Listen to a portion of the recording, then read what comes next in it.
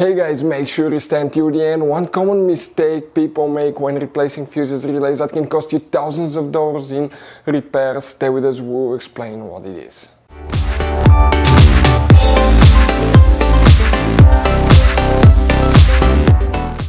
Hey guys, welcome back to Auto Repair guys. Thank you guys for watching and subscribing to the channel. Today will be super helpful video to any of you having a Mercedes E-Class, that generation here from year 2010 to year 2016 if you guys have one of those. If you need to find where that soot particulate sensor uh, fuse is located soot particulate sensor fuse where you can find it guys. Where you can buy cheap parts tools fuses relays at a good price quick shipping that way do not waste money and time. What's important to always test fuses and relays. All that guys will be covered absolutely free for your convenience. Make sure you stay until the end. So before we start let us tell you a little bit about us guys now, if you have a Mercedes E-Class, that generation from year 2010 to year 2016, 17, guys, this is the W212, guys.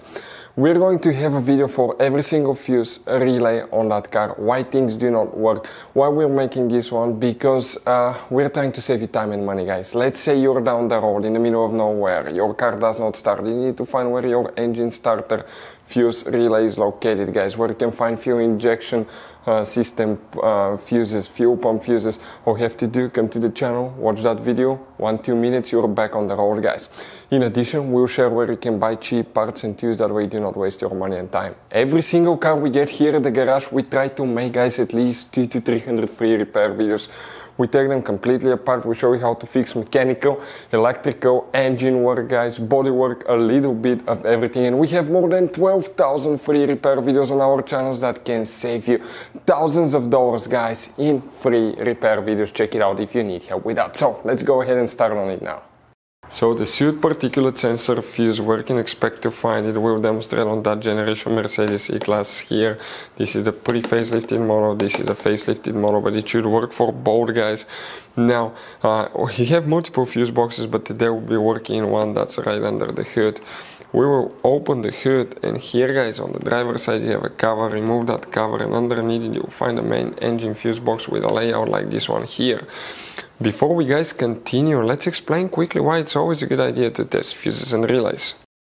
So it is super important guys to always test fuses and relays and something else as well, common mistakes people make. Sometimes you may think that a fuse is good or uh, uh, you cannot actually see if the fuse is clearly burned and in that case guys you may need, uh, you may put the fuse back together uh, and you may end up spending money and time on parts you don't need and uh, all we had to do is just test the fuse. So we'll put a link in the description of the video below how to test the fuse. It takes only a few seconds to find out for sure if it's good or bad. The same thing for relays, guys. Okay, uh, some of those could be really expensive on cars, so we'll put a link in the description of the video below how you can test relays. And for some certain fuses, guys, it's important to disconnect the car battery when removing them, otherwise you can burn the electronics. And uh, for instance, working on airbags, fuses, or anything like that, you need to wait at least one hour after disconnecting the car battery. And if you're not qualified and certified to work on airbag system, I will never recommend to do that, guys.